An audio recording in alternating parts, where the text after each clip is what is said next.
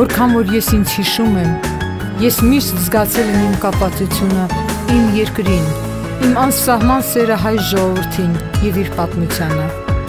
Ես սիրում եմ Հայաստանը։ Ես սիրում եմ նրան իմ հոգու ամբողջ խորությամբ։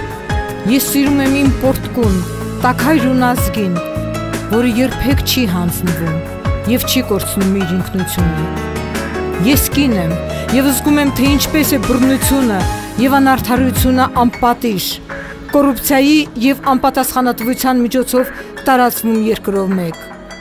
Ես բժիշկ եմ, ես մայր եմ, 4 դուստրերի մայր,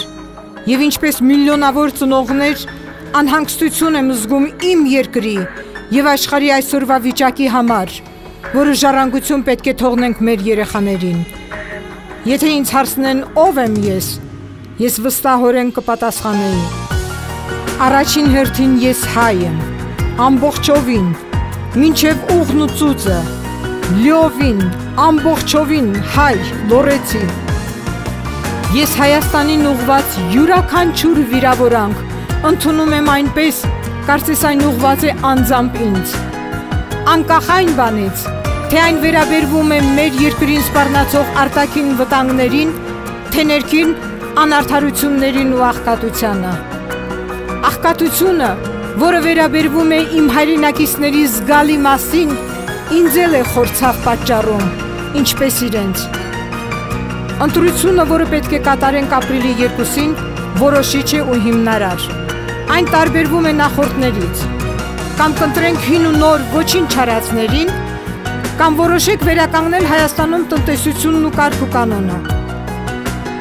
Ես ցանկանում եմ, որ հայերը ապրեն ազատ, անկախ Հայաստանում։ Ես ցանկանում եմ, որ հայերը ապրեն անվտանգ եւ մյուս երկրների կողմից հարգված Հայաստանում։ Ես ցանկանում եմ, որ հայերը ապրեն պաշտպանված եւ ծաղկող Հայաստանում։ Ես ցանկանում եմ, որ հայերը լավ ապրեն հավերժական Հայաստանում։ Ես ցանկանում եմ, որ հայերը ապրեն օրենքի Հայաստանում, կենսագործեն իրենց երազանքները,